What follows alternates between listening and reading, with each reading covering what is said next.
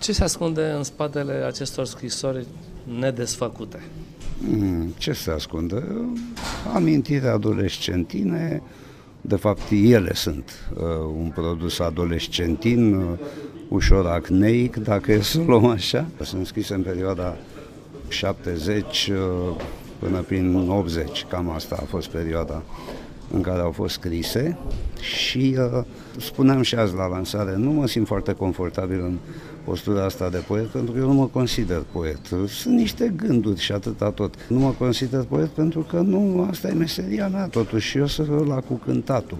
Cred că din multele cântece pe care le-am făcut, foarte puține sunt pe versurile mele, sunt șase cântece mari și late, atâta tot. În rest, uh, nu prea mă aventurez în treaba asta. Prefer să apelez la poeții adevărați care scriu bine, frumos și... Da, e, e o întâmplare, mă rog, s-a întâmplat. Cum se împacă scriitorul și poetul Nicu Alifantis pe de-o parte cu compozitorul și interpretul Nicu Alifantis? Eu fiind geamăn, îi despart ușor. Probabil sunt două personalități diferite, sunt două lucruri. Am încercat, de exemplu, am încercat acum, de curând, să revin, mi-au plăcut vreo două poezele de acolo.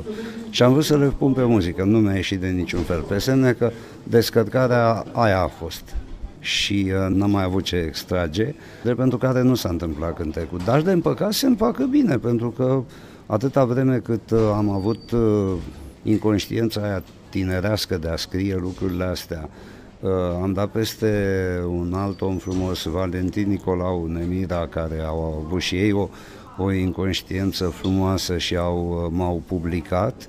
Se va asta este, e vorba de poezie de fapt și de drept. Și atunci și ăla de face muzică și ăla de mai scrie uneori, înseamnă că au acest numitor comun.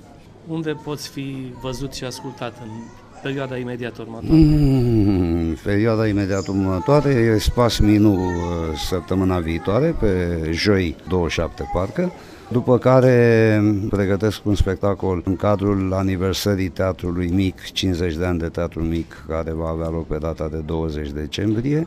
Am dat un semnal uh, al altăieri la Alba Iulia cu recitalul din După Melci. 35 de ani s-a făcut anul ăsta, iar recitalul va fi gata în uh, martie, atunci va fi premiera lui, acum a fost el cu teatrul de, de păpuși din Alba Iulia, cu un cor, încerc chiar să-i aduc pe toți bătrânii, cei care au cântat acolo pe disc și așa mai departe.